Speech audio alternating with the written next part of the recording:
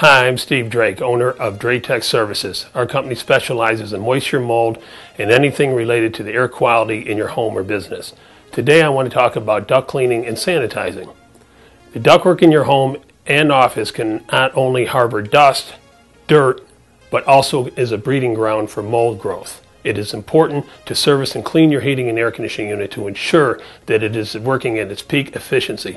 But remember, it is just as important to have your ductwork inspected to make sure that the air you are breathing is as clean as possible. Give me a call and we'll come out and perform an inspection. If your ductwork needs service, then we will provide pictures with the scope of work so that you will know exactly what work is going to be performed. We have the latest equipment and only use EPA approved products to ensure the job is done right. We are insured and Better Business Bureau accredited and have performed duct cleanings throughout the Carolinas. Our team provides great service and we will always tell you the truth. Remember, we're here if you need us and thank you for your time.